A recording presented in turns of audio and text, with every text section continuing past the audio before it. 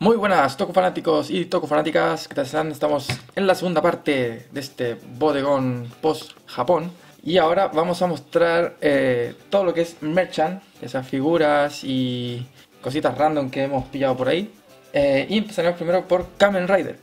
Eh, Kamen Rider, pues hemos pillado algunas SH Wars, peluches y cositas. Ahora empezaremos mostrando lo que Naoko nos lance. Uh, empezamos fuerte. Pues aquí tenemos la SH Figuar del primer Kamen Rider de la era Reiwa, Kamen Rider 01 Rising Hopper, con la siguen con la misma estilo de caja, pequeñita con la ventana aquí. Y esta la pillamos en la Tamashination de Osaka, la tienda oficial de Tamashination. La hemos visto, o sea, la veíamos promocionada en distintas tiendas, pero la mayoría las inflaba mucho, mucho.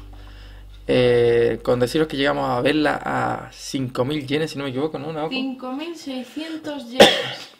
Y lo peor de todo es que nos, eh, cuando le pregunté a una tienda, le pregunté si la tenían, porque todavía la estábamos buscando.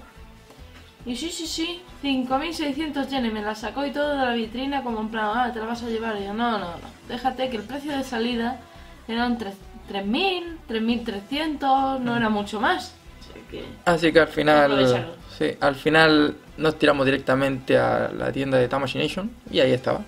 Pero no estaba la caja de la figura en sí, sino que tenías que pillar eh, como la el cassette de, de un Blu-ray y con eso ibas a la caja y te daban la, la Figure, para que vean lo exclusivo que es la figura.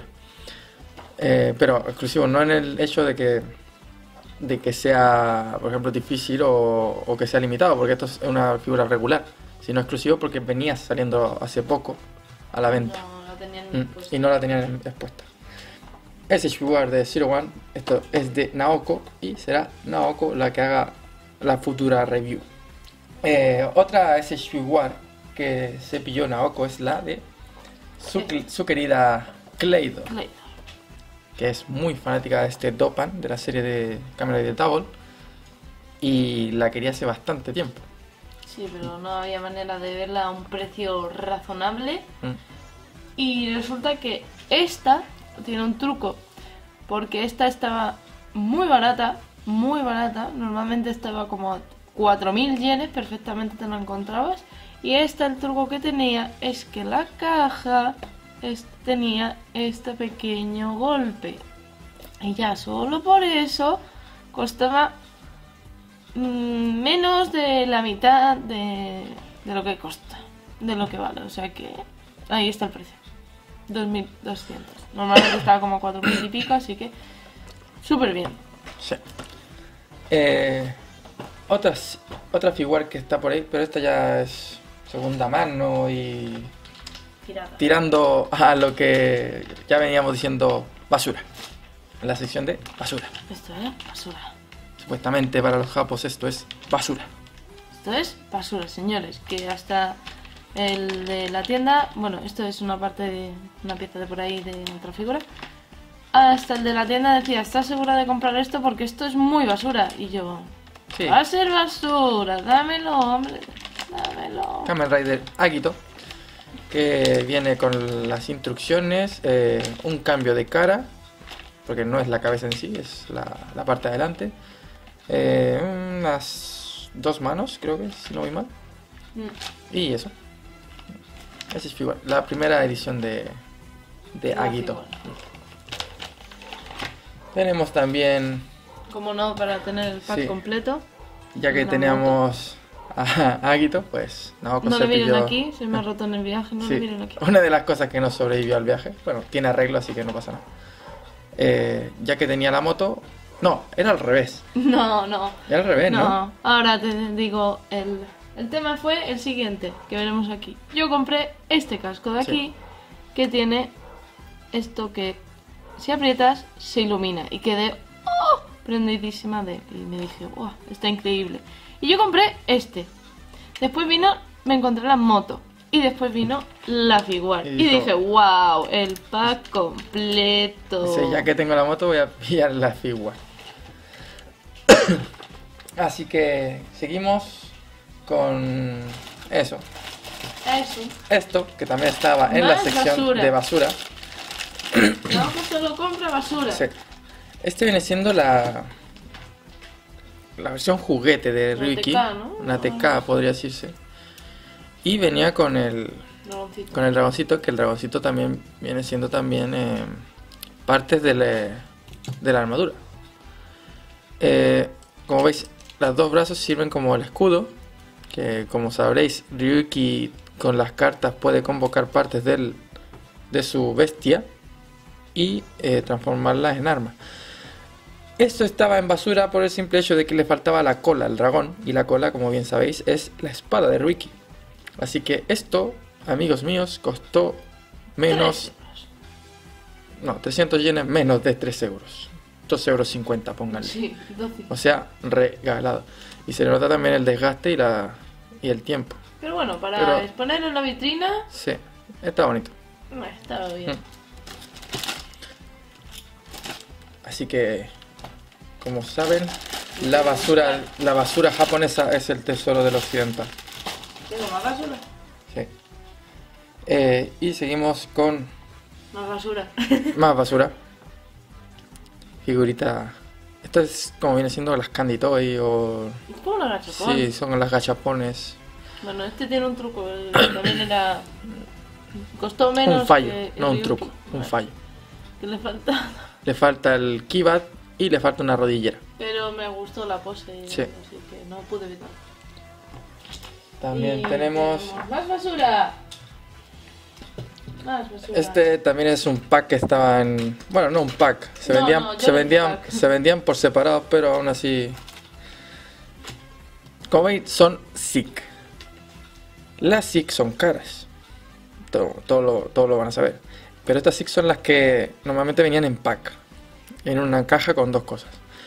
Y estas son bastante antiguas.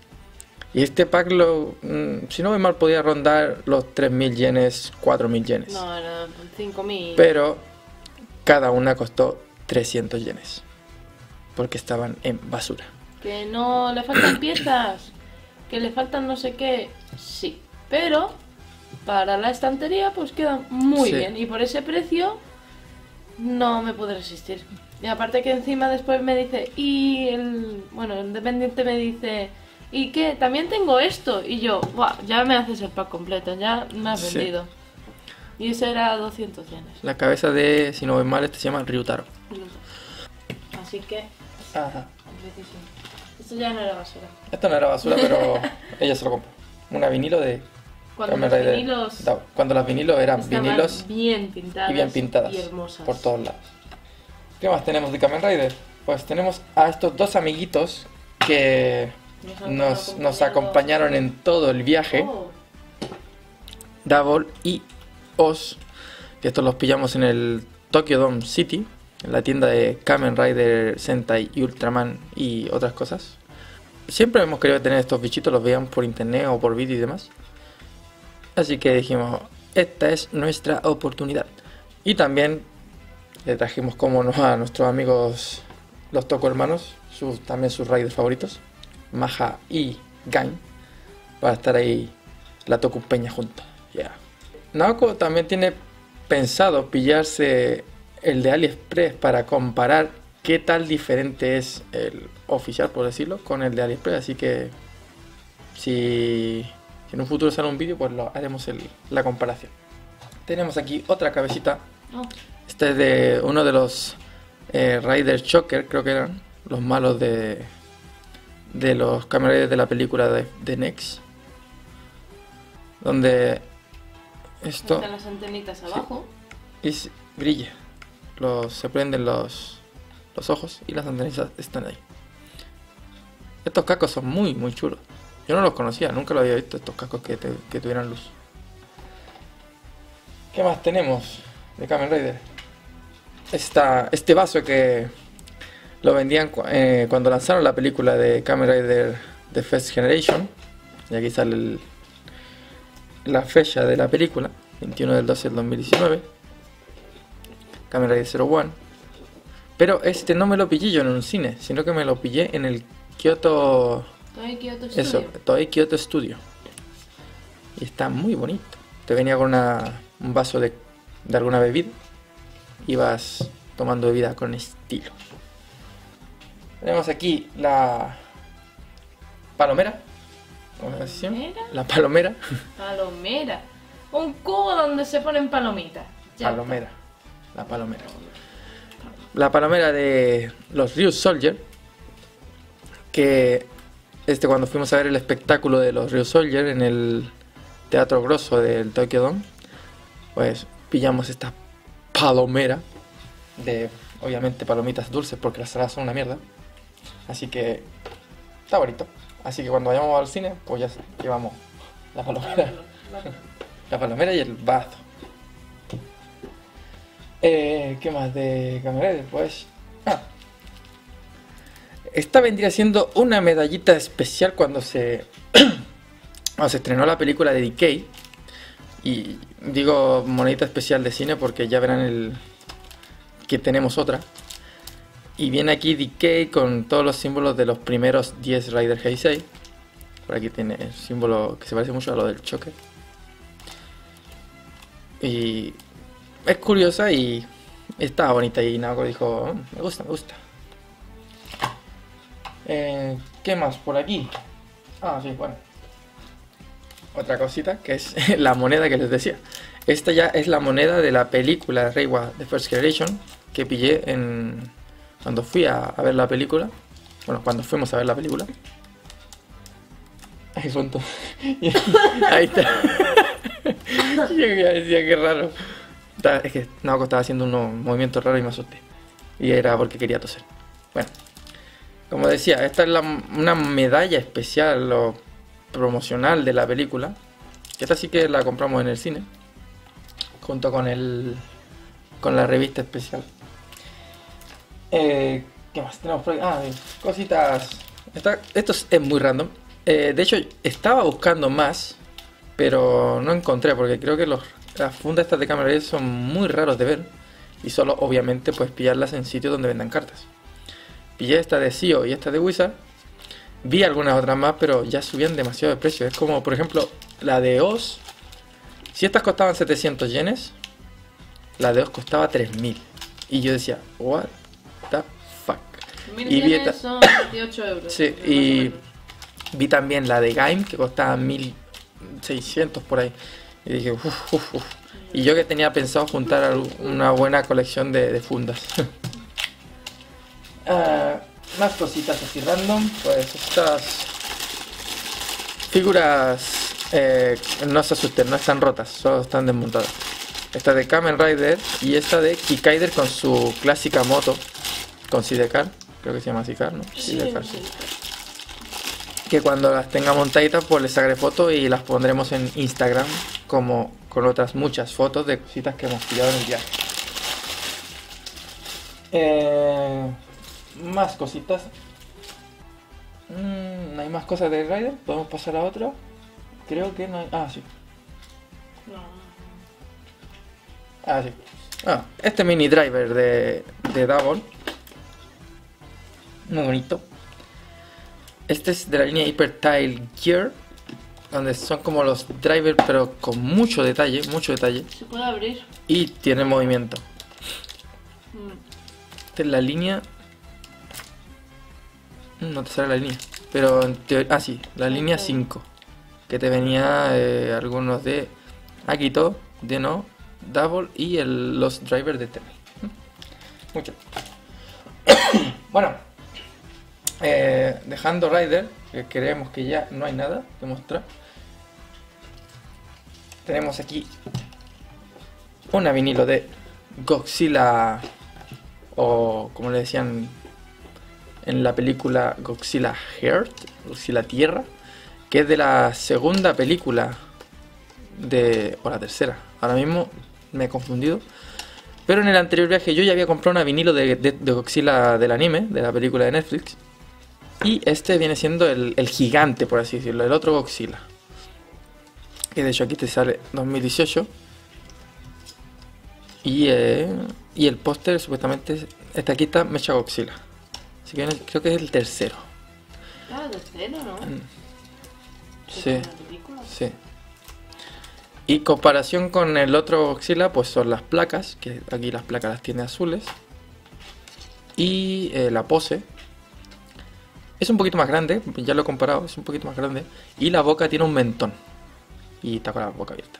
Está como con la posición de cuando tiraba el, el moco atómico. Sí. Está muy bonito. Muy bonito. Ahora pasamos con Ultraman. Eh, vamos con lo de lo más pequeño a lo más grande. Lo más pequeño. Mm. Pequeño. Parche de Ultraman. Sale Seven, Ross y Bull. O al revés. Tenemos también.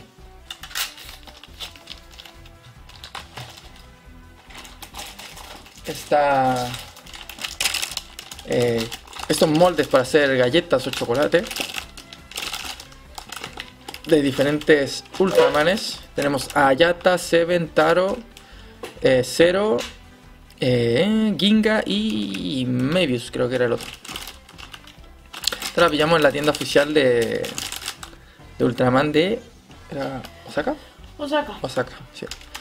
Producto oficial. La M79 creo que Sí, se llama. 78. M78. Aquí, 78. Shot 78. ¿Qué más tenemos de Ultraman? Pues tenemos estas cosas, esto que lo compramos por así por curioso, que pensamos que no, no nos iban a dejar traerlo, pero lo escondimos muy bien en la maleta. Son como Plantitas semillas de semillas. planta o algo así de, uno de los Kaijus de Ultraman. Este lo pillamos en el Tokyo Dome en una exposición de Kaijus del universo Ultraman. Dijimos, vamos a llevarnos algo, pero como casi todo estaba muy caro, pues dijimos, vamos a llevarnos lo más barato. Y lo más barato era esto. Así que cuando sepamos qué es, eh, subiremos fotos en, tanto en Facebook como en Instagram. Porque aún sabemos, no sabemos lo que es. Son como bolitas. Pensamos que podrían ser como salen las plantas, pueden ser semillas. También pueden ser... eh, porque Pusimos el traductor. Sí, y eh. eran como semillas Yo- de no sé qué. Yo pero- pensaba que eran como los crecencios. Um, antiguamente salían unas cositas que tú echas al agua y, se, y crecía un dinosaurio o lo que sea. Y yo pensaba que era eso, pero mm, no lo creo. Así que cuando sepamos muy bien lo que es, pues lo sabremos y lo diremos. Eh, más cositas. Esto también lo pillamos en el en el, la tienda de Ultraman. Es un Baltan. Chiquitín que se le mueve El aquí. mío. Sí, es de Naoko. Me gusta Baltar. Sí, Naoko se enamoró de Baltan. De hecho, se pilló el pijama del personaje. De ese mismo color. De este mismo color y o sea, demás. Igual. Y está muy bonito para ser un avirino. Eso sí, chiquitito, pero está bien. Eh, luego tenemos las dos eh, únicas Ultra Arc de Ultraman. Y aquí será una historia, mini historia que contaré primero con este. Eh, yo iba con la mentalidad de que si me pillaba algo de Ultraman, que sea figura, serían Ultra Arcs. ¿Por qué? Porque son lo más difícil de conseguir ahora mismo, ya que esta línea ya no existe. Porque ahora pasaron a ser SH Figures. Y a mí las Figures de Ultraman no me gustan. Me gustan más las Ultra Arc. Y este, este creo que era Gaia, eh, versión 2. No conocía este Ultraman. De hecho, yo pensé que era Tiga cuando lo vi. Eh, y esta me costó menos de 20 euros, sin caja. Porque todas, eh, todas las Ultramanes con caja son muy caras. Y te venía con otra cabeza, otra luz de vida, un, dos o tres, sí, dos pares de manos más, eh, un rayo y un efecto especial de la cabeza tirando un rayo. Y por el precio está bastante bien. Y ya que no viene con caja, pues mejor para mí porque así hay más espacio para, para, el- Más para la maleta. Y esta es la guinda de mi búsqueda de cosas de Ultraman. Porque, uno, es mi Ultraman favorito. Y dos, esta Ultra es jodidamente difícil de encontrar. esto me estoy refiriendo a tiendas físicas en Japón. Porque en las únicas tiendas donde está, normalmente no baja de eh, los 6.000 yenes. Los 57 euros más o menos. Eh, y está esta, que es la normal. Luego está la versión eh, Power Up, que es como más rojo. Y luego está la, un pack de dos, donde está esta y la versión roja. Y hay otra que es la versión amarilla, que ahora no me acuerdo qué, qué, qué Power Up es. Pero como veis, como hemos dicho ya bastantes veces, cada vez que tiene un fallo o hay algo roto, pues le bajan excesivamente el precio. Y esto tiene tres fallos. No me pregunten el por qué, solamente les diré que había un fallo que era el que más me asustaba, porque según el dependiente de la tienda tenía una pierna mala. Pero las piernas bien, solamente que están un poquito Floja flojas. Articulaciones. Sí. Y el único fallo que tiene la figura es la mano. Esta mano, eh, como sabéis, las Figuar y Ultra Arc y demás, los, los ball joints se pueden sacar y cambiar las diferentes manos. Pues esta se la pegaron con superglue o pegamento. Pegamento. Exacto. Y viene siendo el único fallo fuerte que tiene porque las articulaciones están bastante bien. Obvio, está vieja, está bastante jodidilla la figura. Pero en sí, para tenerla expuesta, está muy bien. Lo único malo es que solo podré cambiar esta mano, pero está bien. Tiene otra cara, como veis aquí. Tiene otra cabeza, tiene las armas y demás. Y está, pero muy, muy bonita. Y como veis, costó Fue- 1800. Una ganga. La caja está totalmente destrozada, que también una de las cosas por las que le bajan el precio. Pero fue un alivio encontrar esta Ultra porque era la única Ultra que de verdad quería conseguir. Así que muy contento. Tenemos también compra especial de Naoko. Estos dos hermanitos de, de la anterior serie de Ultraman. Eh, la última serie de, lo- de la saga eh, Heisei de Ultraman. eh, Ultraman RB. Nos pillamos esto en un book off. Mientras estábamos buscando cartas, Naoko encontró esto. Pero yo había visto este escondido y se lo dije, busca al hermano, busca al hermano. Y la tuve ahí buscando un buen rato al hermano. Y así que pilló los dos en la misma tienda. Están muy bonitos. Ah, yo también había pillado una- un peluchito de Ultraman Zero, pero como eran de estos peluches que se colgaban, pues lo tenía colgado en la maleta y se me cayó y se me perdió. Así que, minuto de silencio por el Ultraman caído. Listo. Y ya, eh, no, espera, antes de eso, es que aquí tenía otra cosa. Esto lo tenía así por culo, para que lo vieran. Estas son las bolsas que quedaban en el, Ultraman Shop. en el Ultraman Shop, para que vean que están muy bonitas. Con aquí con Orf, Seven, Ayata, Taro, eh, Tiga y Zero. Ya, ahí saben el nombre. Y aquí pues tenemos un Ultraman random. Un Ultraman Zero. Que estos bichitos son muy populares allá en Japón. Vi cada vez que íbamos a unas tiendas o cualquier tienda, sea de, de lo que sea, tenían una sección donde estaban estas cositas. Y los niños flipaban con esto. Tenemos también esta toalla. Que Naoko también tiene. Estas las pillamos así por, por pillar. Mm. Esto. Que yo normalmente siempre trataba de buscar cosas de cero para mi colección. Y esta es una de las medallitas de la serie de, Ultraman RB. Este es del transformador de, de Git, Ultraman Git, que también es de cero. Eh. Esto de aquí es eh, Ultraman 7 de la serie de Taiga. Eh. Palitos para comer de Seven. ¿Qué más tenemos por aquí? Sí, ahí se ve el, Mientras va buscando. Sí, ¿Y se aquí ve? tenemos un imán magnético de 0 y un platito como la vez pasada que me pillé el platito de 0 Pues ahora es el platito de Seven, del padre. Muchas cosas de Seven y Zero, que son de los mis Ultraman favoritos. Y bueno, ahora sí, vamos a mostrar los tochos de, esta, de todas las compras de Ultraman que hemos hecho. Los honores, Naoko. Ta, tan, tan. Oh. No cabe ni en el barco. Bueno, es eh, la careta de Ultraman Ayata, la segunda versión, porque tiene dos. Una que está como, es como más vieja, más, más antigua, más desgastada. Y esta que viene siendo la versión 2.0. Y como veis, si es que se logra ver, Sí, se logra ver. es pintada a mano.